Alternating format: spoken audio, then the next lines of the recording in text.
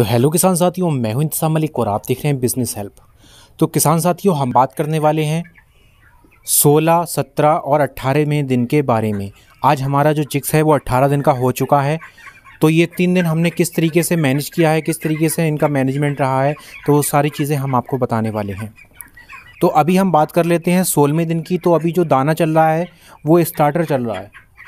Starter अभी हम दाना जो है वो अभी चला रहे हैं, जब हम फ्रीशर इसको खिलाएँगे, तब आपको बता देंगे।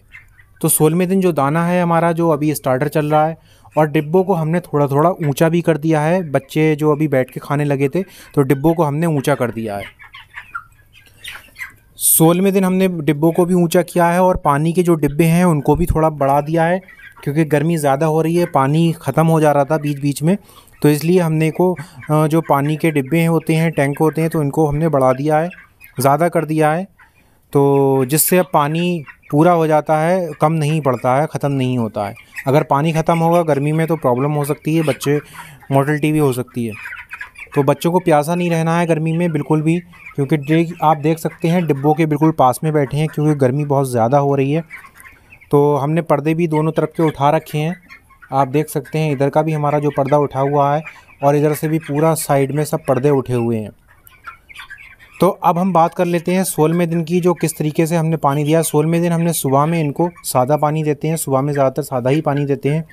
और शाम में हमने इनको लीवर दिया है। शाम के पानी में हमने इनको लीवर दिया है।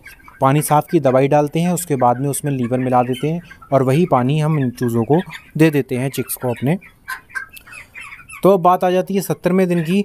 सत्तरवा दिन जो हमारा है तो हमने उसको, उस दिन भी हमारा स्टार्टर ही दाना चल रहा है। और पानी के डिब्बे वही चल रहे हैं हमारे।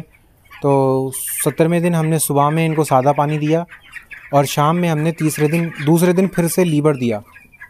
इनको हमने फिर से लीवर दिया। आ, ये लीवर जो है हमें इसी तरीके से तीन दिन लगातार देना है सोलह सत्रह और अट्ठारह ये तीनों दिन जो हमारा मैनेजमेंट रहा है वो सेम रहा है क्योंकि तीन दिन हमें लीवर लगाना था फिर तीन दिन के बाद दूसरी दवाई लगानी है। इनको थोड़ा प्रोटीन देना है, वो हम आपको बताएँगे कौन सी दवा लगानी है, क्या लगाना है, वो सारी चीज़ें हम आपको अगली वीडियो में बता देंगे। तो जो उन्नीसवें दिन का हमारा वीडियो आएगा, वो हम सब कुछ आपको उसमें बता देंगे। अभी सोलह, सत्रह और अठारह दिन का बताया हमने आपको। तो तीनों दिन आपको सुबह में सादा पानी देना है और शाम में लीवर लगाना है, सादे पानी साफ़ की दवाई डाल के। तो किसान साथियों, आपको अगर और कोई जानकारी चाहिए हो तो आप हमें बता दीजिएगा। गर्मी में कुछ जगह जगह जो है, वो कम नहीं होनी चाहिए। आप देख सकते हैं, इधर हमारी जगह पूरी खाली पड़ी है। और ये इधर साइड में, क्योंकि इधर से ठंडी हवा आ रही है तो बच्चे जो चिक्स हैं, वो इसी साइड में बैठे हैं। ठीक है? तो किसान साथियों, आपको अगर कोई भी जानकारी चाहिए हो तो आप हमें कमेंट बॉक्स में कमेंट करके पूछ सकते हैं। हम आपको सारी जानकारी देंगे। पूरी कोशिश करेंगे सारी जानकारी देने की आपको। और जो हमारे चिक्स में चिक चिक की आवाज़ आ गई थी दसवें या ग्यारहवें दिन चिक चिक की आवाज़ आ गई थी तो उसका हमने इलाज किया था, उसका वीडियो हमने बना के अपलोड कर दिया है। तो आप वो भी देख सकते हैं, जिससे तीन चार दिन में हमने इसको कंट्रोल कर लिया और सीआरडी की बीमारी से बचा लिया, क्योंकि एक हफ़्ते के बाद में ये चिक चिक की आवाज़ सीआरडी बन जाती है। तो उससे काफ़ी दिक्कत हो जाती है और मोटलिटी होने के बहुत ज़्यादा चांस हो जाते हैं तो रोकना फिर बाद में मुश्किल हो जाता है उसको।